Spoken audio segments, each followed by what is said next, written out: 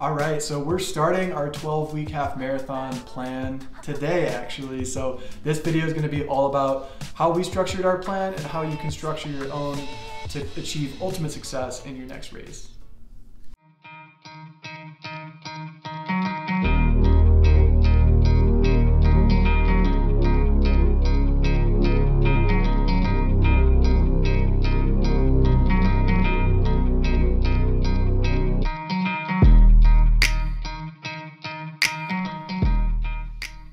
All right, guys, so first we're gonna review our current training plan that we've built out for ourselves. And stick around to the end of the video so that way you guys can get some tips on how you can structure your own training plan. But without further ado, let's get into our own. So for our training plan, but there's gonna be a lot of things that are different from our previous half marathon training. So starting off, we are running four times a week. Uh, previous training, we ran five times a week, and personally, that was just too much load for us. So four times a week is a sweet spot, and that's including two easy runs, one tempo run, and one long run as well as we are including two cross training strength sessions. So that way we're making sure that we're really going for injury prevention. So just a basic breakdown, those easy runs that we're doing twice a week, those are very, very easy runs. They're meant to be recovery runs. They're just for getting good mileage in at a very low aerobic uh, base. That's our goal of building there. As for our tempo, this is really what's gonna be a big change for us. In our previous half marathon training, unfortunately, we kind of neglected, I feel, the importance of a zone two versus a zone four workout zone, which we'll definitely have more videos going more into these zones uh, in later series. But essentially, you want your easy runs to be easy and your hard runs to be hard. So that's why we have one tempo workout a week to where there we're really going to be emphasizing on hitting faster than our goal pace so that way we can really work on building up a faster pace over time. And then as our long run, which is like the staple of any good half or full marathon training plan, uh, we'll be running one of these uh, ideally once every Sunday. And in that long run, we are also including a bit of tempo mileage, uh, which is gonna be at our race pace. So that way we can kind of mimic what our goal pace feels on tired legs.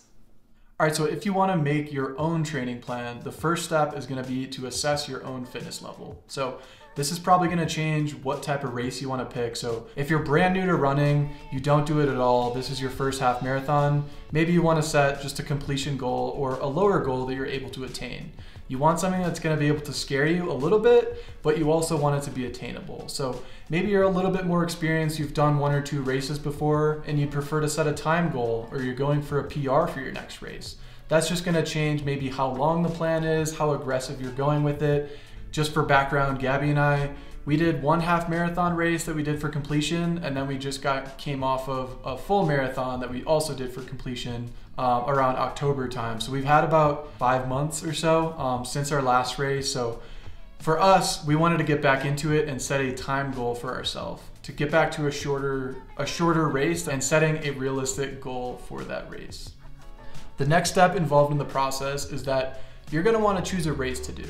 In the past, I know Gabby and I have talked about like, well, maybe we'll just do it on some random weekend day, but no, you're gonna want an actual race that you're going to where other people can see you, there's an official time.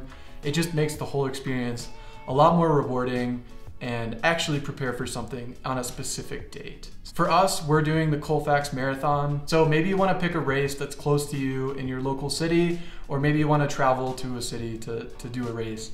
So once you pick the race that you wanna do, all this is gonna do is just get you excited about a specific day so that way you can backwards plan. So maybe when you wanna start your training plan, start getting excited about that specific day that you'll hopefully reach your next goal that you have set. The next step is gonna be the big one, and that's actually starting to map out your plan. We recommend if you're a beginner, you're gonna wanna give it at least three to four months, I would say, for a half marathon, so about 12 to 16 weeks. That'll just give you enough time to build your base, get in enough long runs and speed work in order to achieve what you want. But if you're a little bit more experienced, maybe you can cut that down to like 12 to 8 weeks or so. Uh, but regardless, You're gonna wanna dedicate at least three to four days a week to running. Try to aim for four, maybe you can do it with three, but you're gonna wanna make sure that you have enough days in the week that you're running just to be able to increase your overall volume and running miles per week. So for our plan, we're running four days a week and with two days of strength training. Strength training can also be very helpful if you want something to do outside of just running. This is gonna help you mentally as well as prepare your body for putting 13.1 miles on it uh, come race day. Also, what you want to make sure that you incorporate in your plan is a steady volume of increase week over week. So we aim to do about a 10% increase in volume per week. This is a good way to ensure that you're increasing your overall volume, getting enough miles on your legs that you need to to prep for the race, but also not expose yourself to the risk of injuries. If you increase volume by way too much, or you increase intensity by way too much too quickly, you're definitely at a higher risk of injury and that's gonna put you out for race day. So definitely want to avoid that. So of those three or four runs that you're gonna be incorporating per week, you wanna make sure that at least one of those runs is gonna be a long run. This is gonna be where most of your mileage is gonna come from and be the closest to what you're gonna do come race day. Another one of those runs is gonna be hopefully a speed run and that's gonna get you just used to picking up the pace a little bit so that all your miles aren't just super slow and monotonous. And then you'll have ideally one or two other runs during the week that'll just be at an easy pace, very conversational. It shouldn't be difficult at all, but again, just to be able to increase that mileage weekly. You are also probably going to want to make sure that you space out these runs throughout the week because rest days can actually be just as important as training days. So if you can avoid it, try not to schedule like super difficult workouts back to back because if you're putting all your effort into a long run or a speed run or whatever it is, you're probably going to want about a day to recover from that and make sure that when you do come back to running that you're well rested and can perform at your highest level. The last important tip that I think is really fun that you're gonna wanna make sure that you don't forget to include in your plan is a way to track progress. We made our plan in a Google Sheet so we can easily see, look at all the 12 weeks and see how our mileage is changing and maybe we can look back and see what we did. But in addition to that, if you can, track all your runs on a phone or on a watch. We are lucky enough to have these Garmin watches. They're super nice to be able to look back a couple weeks or a couple months in the past and just see where you were and see how you've improved. So this is going to be really important when it comes to the mental aspect of completing your training plan.